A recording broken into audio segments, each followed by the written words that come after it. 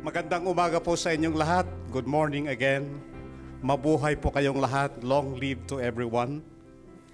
In the day-to-day life of the ecumenical movement in the Philippines, it is constantly a struggle for peace and justice. But I'm always reminded of three things.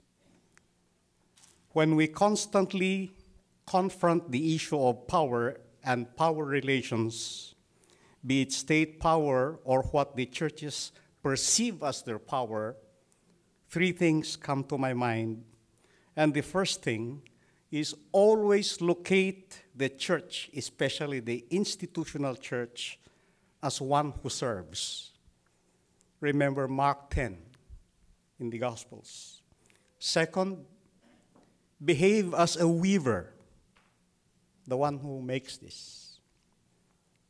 And I was saying over breakfast this morning in the 10 member churches of the National Council, we always say every time a chicken passes by, there are at least theological opin- 10 theological opinions. and then the third thing that I always remember is that whether the church will engage in the issues of justice and peace and in the struggle for justice and peace, there will always be movements of people for justice and peace.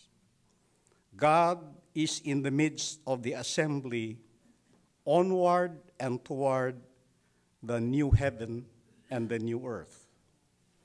Theology and liturgy are important, but let us not forget that in lest in our desire to be theologically astute and liturgically all right, we lose the people.